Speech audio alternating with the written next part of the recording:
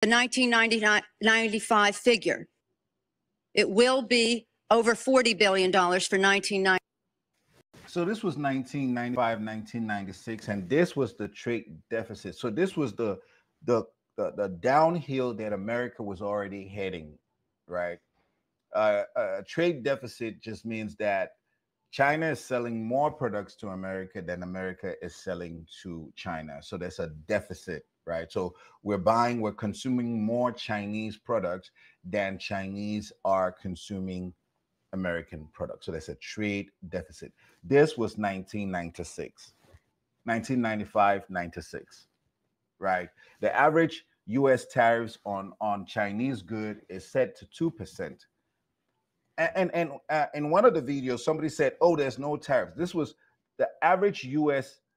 Uh, MFN tariff on Chinese goods, so goods coming from China, was set to two percent. Americans tax Chinese goods two percent. For this trade deficit to happen, you have to have this imbalances in tariffs. You must notice.